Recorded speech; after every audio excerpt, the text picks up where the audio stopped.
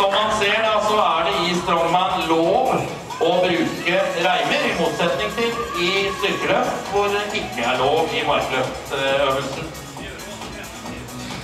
Her har vi en mann til som da etter sigende har trent bare en måneds tid, og banker til med 400.